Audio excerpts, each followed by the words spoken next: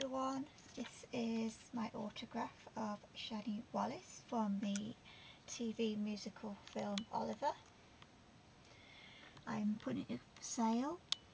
It's signed in black marker pen made out to me Tracy, what a talented young lady and then she signed at the bottom.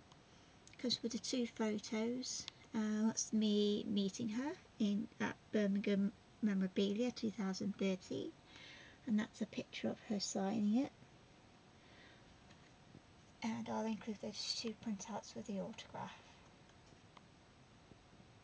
See the description box below for more information. Thank you.